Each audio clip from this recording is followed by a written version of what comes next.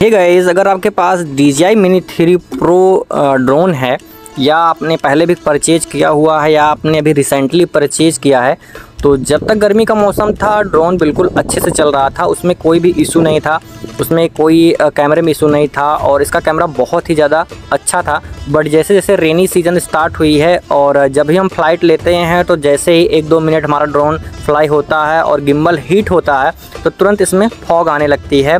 तो उसी का हमने सोलूसन मंगाया हुआ है। मैंने यूट्यूब पर बहुत सारी वीडियो देखी थी, जिसमें कोई सोलूसन मिला नहीं तो गाइज़ ये जो गिम्बल है, सबसे पहले इसको हम ओपन कर लेते हैं तो आप ओपन करना ही जानते हैं। तो इसके ऊपर जो ये कैप लगा हुआ है कैप आसानी से ओपन हो जाता है। इसके बाद हमें क्या काम करना होता है, यहाँ पे ये हम देखते हैं। तो जो मेन इशू है, इसके अंदर ही है, क्योंकि इसमें क्या होती है, जैसे ही हमारा हीट होता है फॉग आ जाता है। तो अब क्या करेंगे, जो हमें स्क्रू ड्राइवर इसके साथ मिला हुआ था, उससे हम इस कैप को ओपन कर लेंगे। और गाइज़ बहुत केयरफुली आपको इसे ओपन करना है। और जैसे ही आप इसे दोनों स्क्रू को ओपन करेंगे, खोलेंगे तो ये कैप अपने आप बाहर आ जाएगी। हो सकता है नए ड्रोन में बाहर ना आ रही हो तो थोड़ा सा आपको स्क्रू ड्राइवर से उसे पुश करना होगा और ये कैप निकल जाएगी। तो कैप निकालने के बाद हमें क्या करना होता है, मैं आपको दिखाता हूँ। तो देखिए, जैसे मैंने स्क्रू ड्राइवर खोला तो ये कैप निकल आई। फ़र्स्ट टाइम जब मैंने इसे खोला था तो ये नहीं निकल रहा था।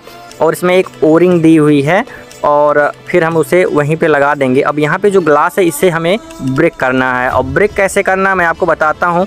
आप अगर घर पे हैं तो गैस पे आप कोई भी सामान रखिए, उस पर कोई मोटा सा कागज़ रखिए, उस पर हीट करके ये ग्लास को आसानी से ब्रेक कर पाएँगे। नहीं तो कुछ भी टूट गया तो फिर बड़ी प्रॉब्लम हो जाएगी और बाद में ये कैप मिलेगी भी नहीं।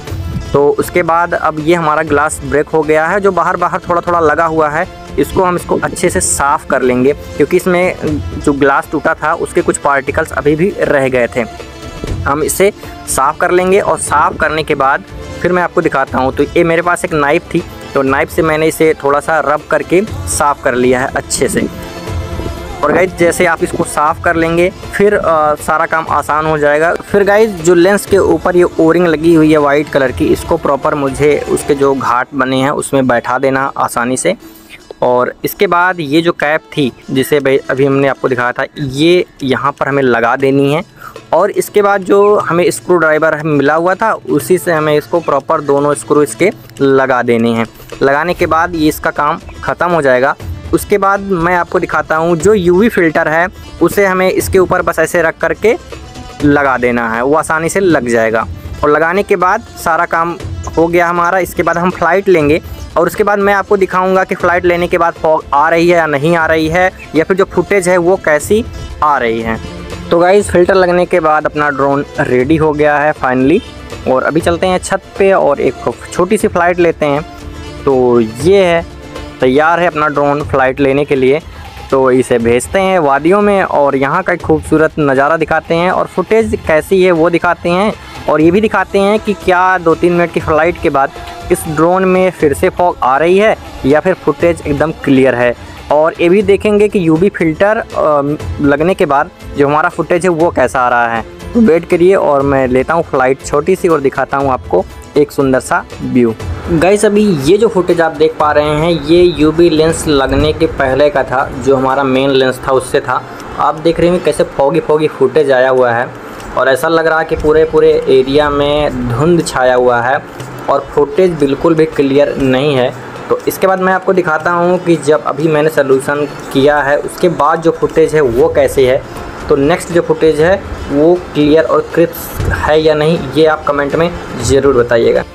तो गाइज़ अभी जो फुटेज आप देख रहे हैं, ये जब मैंने दूसरा ग्लास लगाया हुआ है यूवी लेंस उसके बाद की फुटेज है। और अभी की जो फुटेज है, एकदम से मुझे क्लियर दिख रही है। और काफ़ी खूबसूरत व्यू फिर से आ रहे हैं, जैसे पहले उस ड्रोन से आते थे। तो यही एकमात्र सोल्यूशन है, और क्योंकि इंडिया में कोई सर्विस सेंटर है नहीं डीजीआई के ड्रोन का तो फिर हमें अपने आप से खुद ही सोल्यूशन ढूंढना होगा।